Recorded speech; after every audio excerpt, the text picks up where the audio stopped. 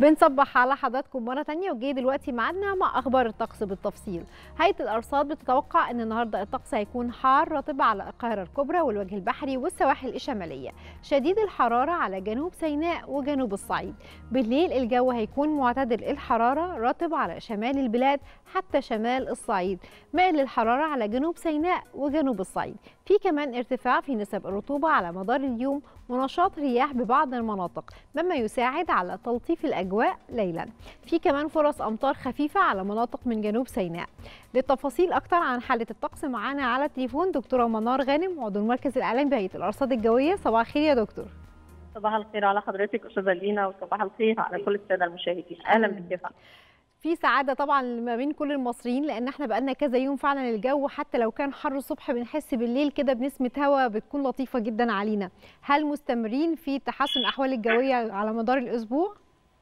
بالفعل يمكن إحنا بدأنا تحسن نسبة الأحوال الجوية في كافة محافظات الجمهورية من نهاية الأسبوع الماضي. بدأت درجات الحرارة تنخفض وتكون أقل من المعدلات الطبيعية لها في مثل هذا الوقت من العام وده بالفعل إن إحنا بنتأثر في امتداد لمنخفض جوي في طبقات الجو العليا، المنخفض الجوي ده بيوزع الرطوبه في عمود الهواء فما بيخلينيش أحس بنسب من الرطوبة الموجودة في الجو، بالإضافة كمان بيساعد على انخفاض درجات الحرارة وتكاثر السحب المنخفضة والمتوسطة خاصة فترات الصباح اللي بتحجب جزء من أشعة الشمس وتساعد على انخفاض درجات الحرارة، كمان مصادر الكتل الهوائية معظمها قادمة من جنوب أوروبا مرورا بالبحر المتوسط مع امتداد مرتفع العروض الوسطى فبالتالي الكتل دي منخفضة في درجات حرارتها فده بيخلينا نحس بمزيد من التحسن في الأحوال الجوية. يمكن إحنا بنسجل درجات حرارة عظمى على القاهرة الكبرى 33 درجة مئوية.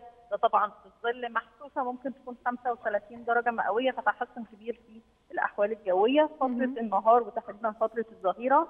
بنحس بالاجواء الحارة الرطبة على القاهرة الكبرى ومحافظات الوجه البحري والسواحل الشمالية للبلاد، أجواء شديدة الحراره على المناطق الجنوبية شمال وجنوب الصعيد وجنوب سيناء، ده طبعا خلال فترات النهار، خلال فترات الليل مع غياب أشعة الشمس بيحصل انخفاض في درجات الحرارة. طبعا بيكون ملحوظ أكثر في ساعات الليل المتأخر فترة الصباح الباكر خاصة مع وجود نشاط نسبي للرياح، وجود نشاط رياح فترات المساء ساعات الليل بيؤدي ليه إن إحنا ما نحسش بنسب الرطوبه الموجودة في الجو بيلطف الأجواء بشكل كبير وده اللي بيخلينا نحس بنسمات الهواء اللطيفة فترات الليل وساعات المساء متوقع الأجواء دي إن شاء الله تستمر معانا حتى نهاية هذا الأسبوع على الأقل.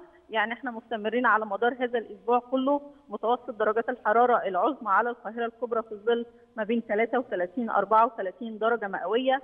استمرار وجود نشاط للرياح اللي هيساعد بشكل كبير على عدم إحساسنا بنسب الرطوبه ويلطف الأجواء بشكل كبير. يمكن كمان اليوم متوقعين إن يكون في فرص ضعيفة لسقوط أمطار خفيفة.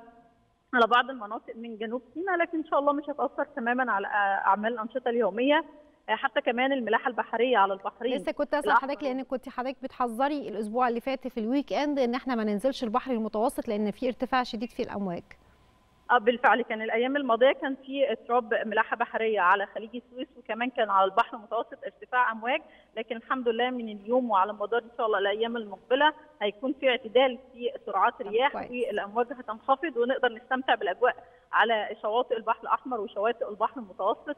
خاصة كمان إن التحسن في درجات الحرارة ده بيشمل كافة المحافظات، يعني مم. المناطق الساحلية متوسط درجات حرارة 30 31 درجة مئوية، آه كمان مش هنحس بنسب الرطوبة العالية في الجو فنقدر الحمد لله نستمتع بالأجواء طيب. على شواطئ البحر المتوسط أو حتى شواطئ البحر الأحمر. يعني هنستمتع بأجواء صيفية معتدلة الفترة اللي جاية، أنا بشكر حضرتك شكرا جزيلا دكتورة منار غانم عضو المركز الإعلامي بهيئة الأرصاد الجوية، شكرا جزيلا لك على المتابعة اليومية معانا.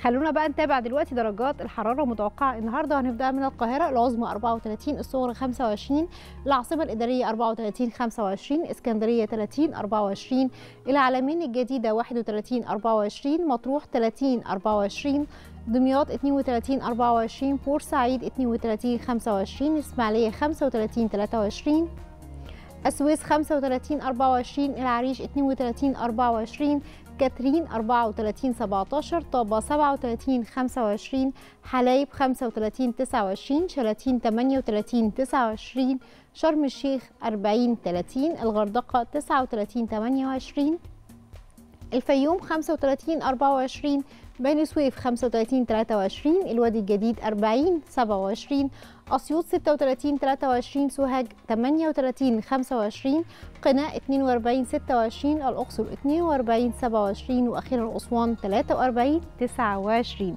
زي ما قلنا النهارده الأجواء الصيفية المعتدلة هتستمر معانا على مدار كذا يوم.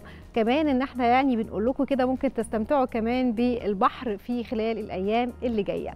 خلونا دلوقتي نرجع مرة تانية لمنى ومصطفى عشان نكمل معاكم فقرات صباح الخير يا مصر. شكرا ليك يا دين شكرا. شكرا ليك.